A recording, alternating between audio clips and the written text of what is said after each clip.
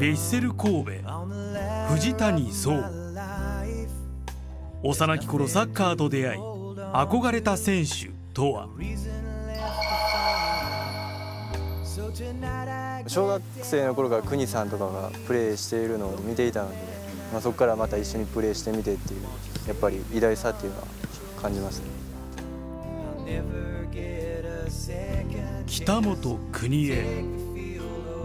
ヴィッセル一筋19年。クラブ最年長の象徴的ディフェンスリーダー、サッカー選手としても人間としても、まあ、まだまだじゃないかなと思ってます、まあ、一緒にプレーしてる時に、まあ、しんどい時こそ踏ん張れっていうのは練習試合とかも言われましたし、